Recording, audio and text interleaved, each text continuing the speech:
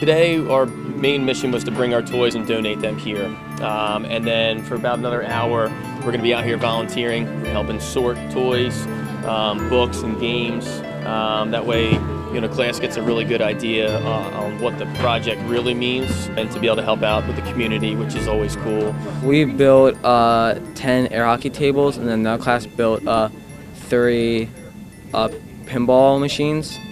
Uh, we built them to donate because we thought that it would be a good toy that kids would get out of to be able to use during the uh, winter season. We try to make toys for older kids. Um, as you can see, most of these toys here are for a lot of the younger kids. So our kids designed um, and came up with um, like a, a, wooden air hockey game and a dueling pinball game. Um, so that way, you know, kids probably even five years old, way up to teenage years, can uh, can play with it. We don't realize how much goes on behind the scenes here. These guys work. I mean, it is a, I mean, literally, you know, around the clock operation here um, to get all these uh, toys and games and books and stuff out to out to kids in the community, which is awesome. So it was good. It was pretty successful. It was hard. The the one project was really really tough. We, we struggled with it. A lot of problem solving, but uh, but we got it done and, and we got to drop them off. So it's good.